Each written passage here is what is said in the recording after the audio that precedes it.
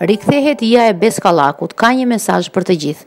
Prej kohësh gjyshja e Besit Ija është kthyer në personazhin më të dashur për publikun dhe videot e saj na kënaqin sa herë që i shohim. Megjithatë, kohët e fundit Ija na ka munguar dhe Besi sot e ka rikthyer atë me anë të një video të postuar në Instagram.